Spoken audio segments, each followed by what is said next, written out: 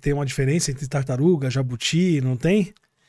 Ou, Essa é uma briga eterna. Ou, não? Mas existe. Tem, existe aí uma diferença entre, entre o cágado. Você viu, né? Toda vez que a gente entrar em termo biológico, já vai começar é. a confundir todo mundo. Sempre tem variações. Não, é. Deve ter, né? Porque. É, é que é uma briga imensa. É... é tartaruga, jabuti, o outro é o. É... Então, tem gente que divide, mas se o o Ronaldo Bioparque Macuco, ele explicou que, na verdade, na origem, é, tartaruga vem de tártaro, que era um cara que carregava a casa nas costas. Então, teoricamente, até não estaria errado chamar todo o quelônio de tartaruga. de tartaruga. Eu concordo, eu, eu sou dessa escola. Ah, legal, legal isso. Até assistir isso, até ter essa informação há um ano atrás, eu separava tudo.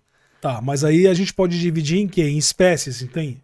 Então. Ah, eu vou pelo meio de vida delas antes de qualquer coisa, Melhor né? Forma. Tá. Porque para mim tudo é tartaruga. E para mim o que importa não é como a pessoa chame, é que a pessoa não joga o lixo na rua para não matar qualquer sim, nenhuma sim, delas, sim. entendeu?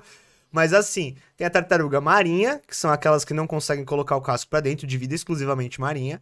Tem as tartarugas aquáticas, como essa daqui, e as tartarugas terrestres que a gente pode chamar de jabuti seja o jabuti de espora africano, seja o jabuti gigante, né? Só que aí dentro das aquáticas, a gente tem muito costume de chamar de cágado. Inclusive, ontem eu vi isso na placa do zoológico.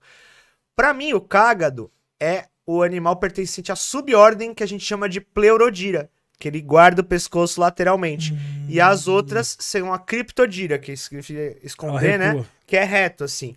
Então, eu separo assim, mas como eu disse, quando eu tô ensinando isso para as pessoas, isso não vai mudar nada na vida delas. Para criança, por exemplo, o trabalho educacional não, que você é faz é uma tartaruga. tartaruga. Tá tudo é. bem chamar de tartaruga. É claro que se não, não chamar isso que é um sapo ali e tal, aí eu vou falar, não, calma aí, olha melhor, né?